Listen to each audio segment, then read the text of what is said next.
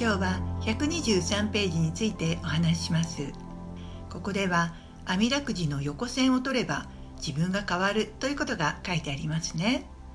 これはどういうことかというとつまりスタートが同じであってもゴールは違うということを言いたいんです。あなたがスタートからゴールに向かう時いろいろな切り替えをしないといけないと思うんです。例えばここでは右に行くここでは左に行くっていうふうにいろいろと道を選びながらゴールにたどり着くわけですね。スタートが同じでも途中の選び方が変わればゴールが変わります。ですから多くの人はあの家で生まれてあの親に育てられてこういう環境になった。だから自分はこうなってしまった。と思ってそのルートの上に自分があるから自分はもう変えられないというふうに思ってるわけです。ちょっと高度な話になりますがあなたの過去ってどこにあるのか分かりますか？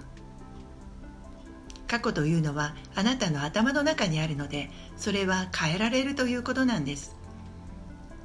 あとはあなたがちゃんとそれを変えたいと思うことですよね。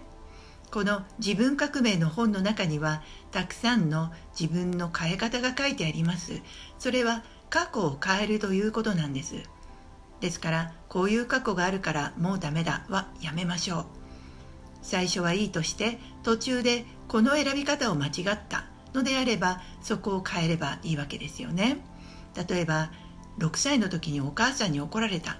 そして自分はもうお母さんとは口を聞くもんかとかお母さんの言うことは聞くもんかと思ったとしたらそれからあなたは反抗的になってお母さんの言う通りにはなかなかしないというふうになってとても効率が悪くなったと思います。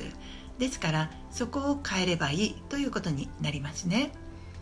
よく覚えておいてください。スタートが同じでもゴールはいくらでも変えられるということです。